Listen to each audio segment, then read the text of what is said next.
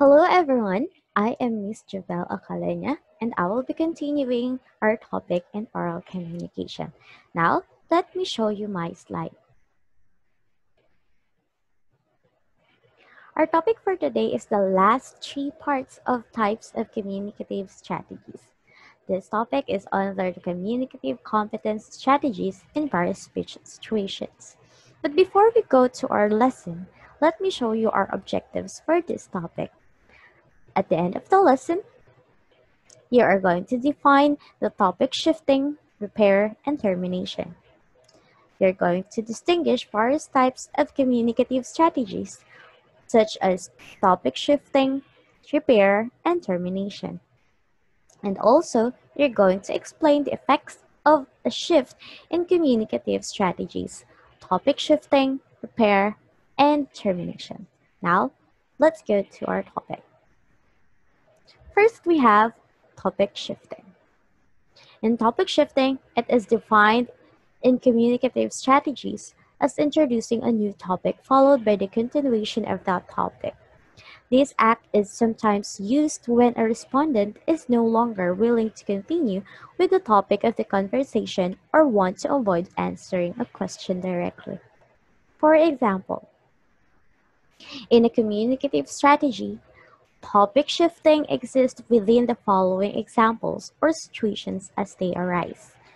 First one, when speaker wants to change the topic without announcing his desire to do so, but then, if he is equipped with the right strategy, he can do this without being noticed by the audience. Sometimes, he can use some words or phrases. For example, by the way, but, or let's go to the next topic.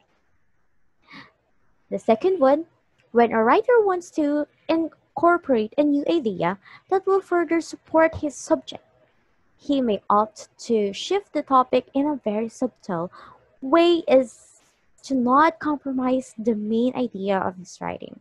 Again, applying a proper technique will do this trick.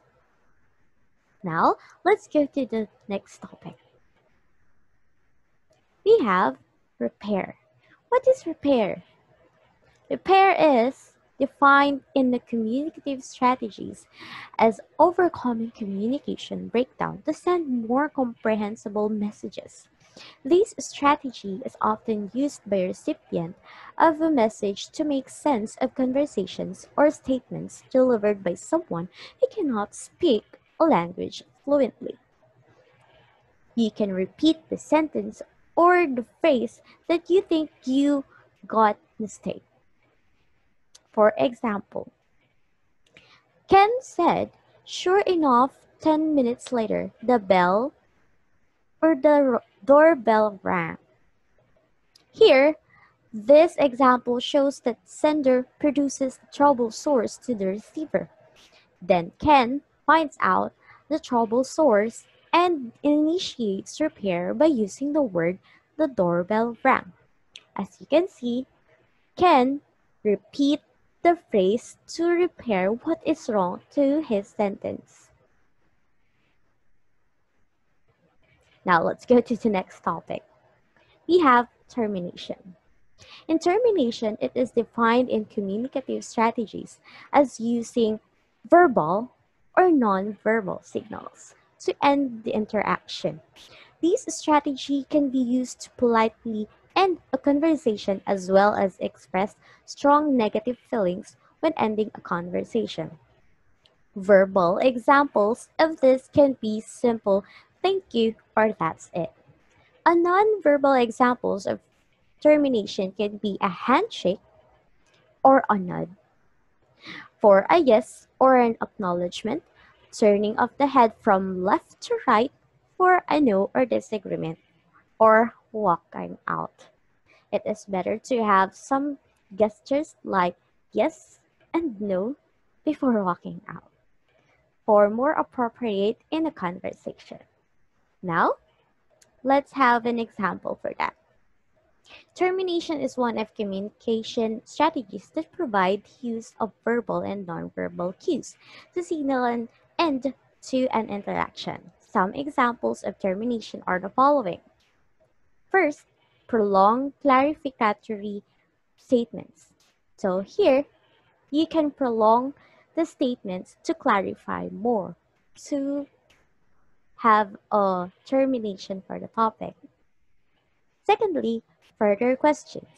You can ask some questions to stop the conversation or the topic that you're talking about and to go to another topic for that question. And the last one, continuation of topic already discussed. You can stop the topic that you're talking about and going back to the original topic that you have. Now, it's activity time. I will be giving you 10 minutes to answer this activity. Okay. The first activity is you're going to identify the type of communicative strategy in each statement.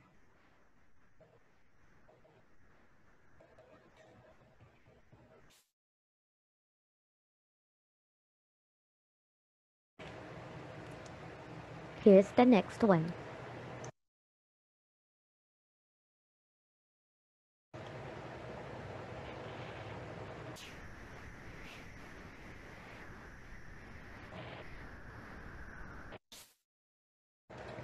And for your second activity, you're going to reflect on the learning that you gained after taking up this lesson by completing the given chart. This is your chart.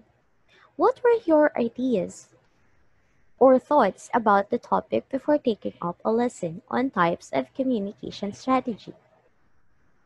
I thought. In the second graph, what new or additional ideas have you had after taking up this lesson? I learned that